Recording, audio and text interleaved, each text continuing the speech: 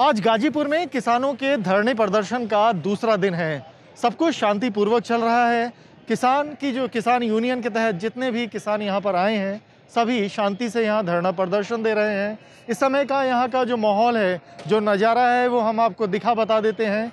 आप देख सकते हैं कि ये जो रास्ता है, ये यूपी से दिल्ली की तरफ़ जाता है। जो बैरिकेडिंग है, वो दिल्ली पुलिस की तरफ़ से की गई है।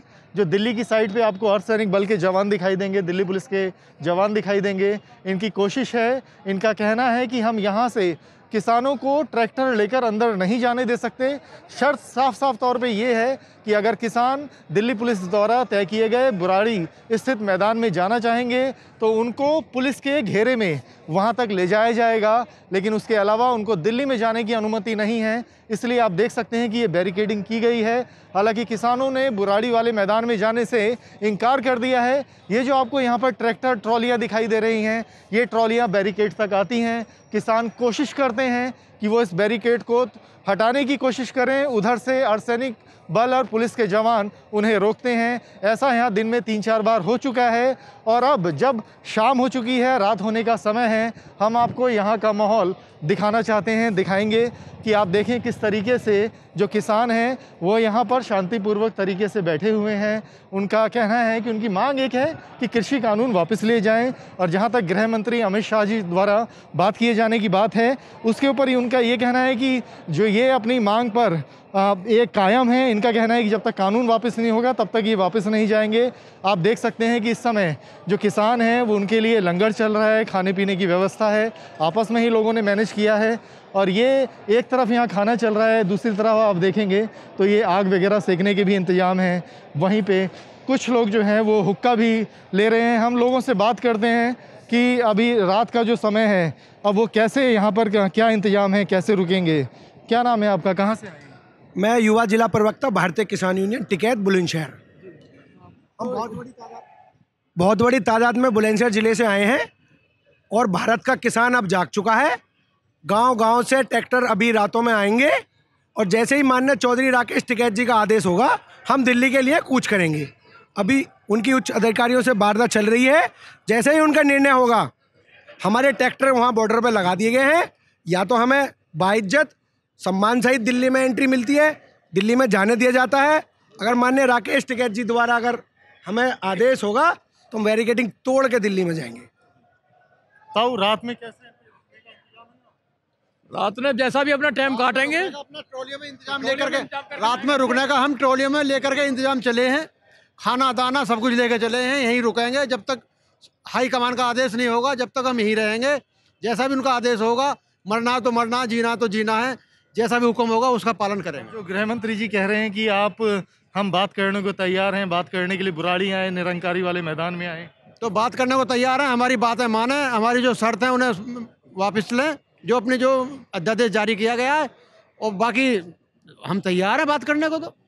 ये किसान है, साफ़ कहना है कि जो कानून है वो वापस लिया जाए और जब तक वो वापस नहीं लिया जाएगा, वो यहाँ से बात करने नहीं जाएँगे।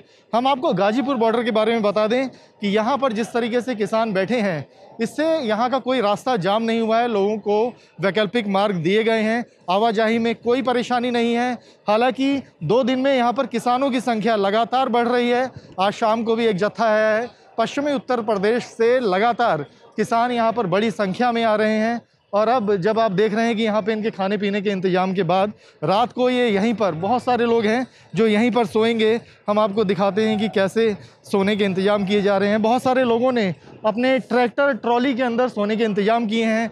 बहुत से बुज़ुर्ग यहाँ बैठे हुए हैं जो आप देखेंगे कि हुक्का और किस तरीके से एक बुज़ुर्ग सोए हुए हैं, हम आपको दिखाते हैं कि उन्होंने फुटपाथ को ही अपना तकिया बना लिया है। और अगर ये जगह होंगे तो हम इनसे बात भी करते हैं कि ताऊ जी आप रात को क्या यहीं सोने वाले हैं? ये फुटपाथ को ही आपने तकिया बना लिया अपना। हाँ। ना जाएगी ऐसी नींद? हाँ ना। ये तो सोना पड़ेगा मजबूरी है। रात को ऐसे ही सो जाएँगे या फुटपाथ हाँ जी नहीं सो जाएँगे गाँव पर चल जाएँगे। इतने हमारी मांग नहीं मरने। इतने चाहे महीने चार हो जाओ। यहीं रहेंगे कितना भी समय हो जाएगा कितना समय हो जाएगा? हमें तो टकैत नहीं रुकाएगा और तो करिए ना किसी के मार धाड़ और जाकर बैठ जाओ बस वहीं। और पीछा मिल नहीं रहा अंडे का। हम तो यहाँ बैठ गया वहाँ हमारे पास उपद्रव चलवा में केवल तारे इनकी रिपोर्ट करें फिर पैसा दे नहीं रहे। हमारा पूरके का पैसा भी नहीं दे रहे। जो नया कानून है जो न्यूनतम समर्थन मूल्य वाले जो विवाद है उस वो आपको लगता है कानून आपके पक्ष में नहीं? नहीं हमारे पक्ष में नहीं। गेहूँ गेहूँ बिगड़े लग रहे घरों कोई लेवा नहीं। उन्नीस का भाग काट दिया हम हम पन, हम पंद्रह से देने को विचार है हमारे तो गेहूँ भी सब घरों में पड़े। इन्होंने रे, रेट काटा था पीछे साढ़े उन्नीस सौ का आज पंद्रह सौ में भी खरीदार नहीं उनका। और गेहूँ दिक्कत अभी से आने ये इबते पहले है। और आगे तो पता नहीं क्या होगा। आलू था पहले किसान का आलू तो बहुत मंदा खरीद के वही पचास रुपए किलो से ही खरीदना पड़ रहा है। आपने सुना कि जो किसान हैं शांतिपूर्वक तरीके से यहाँ पे धरने प्रदर्शन के लिए बैठे हैं। किस तरीके से फुटपाथ पर ही सोने को तैयार हैं। इरादे बहुत साफ़ हैं कि चाहे कितना वक्त लग जाए, वो यहाँ से नहीं हटेंगे। चाहे कितनी मुश्किलें आएँ, चाहे यहाँ खाना पीना और जो सोने के इंतज़ाम है, ठंड बढ़ती जा रही है, लेकिन किसानों के हौसले पस्त नहीं हैं। हम देख रहे हैं कि लगातार यहाँ पर किसानों की संख्या बढ़ती जा रही है। वीडियो जर्नलिस्ट हरीश के साथ अवनीश चौधरी, न्यूज़ नेशन दिल्ली।